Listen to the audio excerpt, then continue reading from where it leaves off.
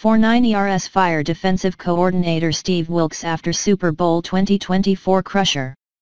The San Francisco 49ers have made a major coaching change after their heartbreaking overtime loss to the Chiefs in Super Bowl 2024.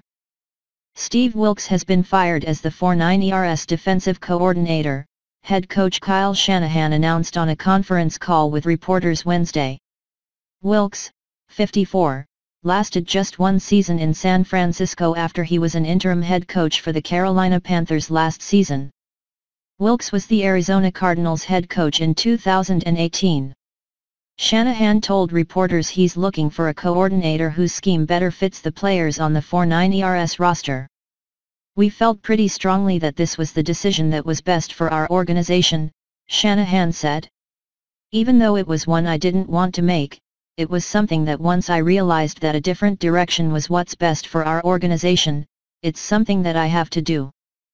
After holding the Chiefs to 3 points in the first half, the 4-9 ERS gave up 16 points in the second half of Super Bowl 2024 and surrendered a 13-play, 75-yard drive that ended with Patrick Mahomes throwing a game-winning 3-yard touchdown pass to Mecole Hardman in overtime.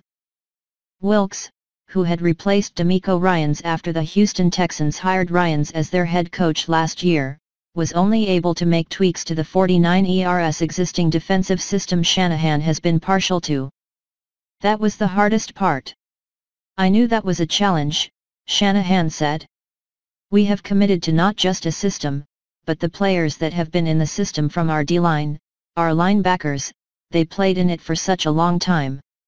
It was my goal to not have to change all of them and bring in Steve who was unbelievable and how loyal he was and him trying to do it. But it just ended up not being the right fit.